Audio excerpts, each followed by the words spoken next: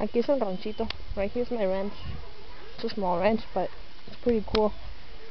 You see chickens, you see roosters. Later on I'll show you the cows. Over there, they're my cousins.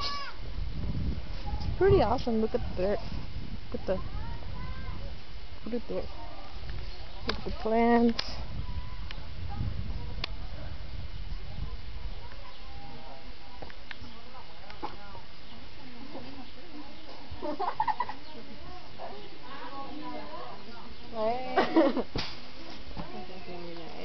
Hola. Te huele la cola.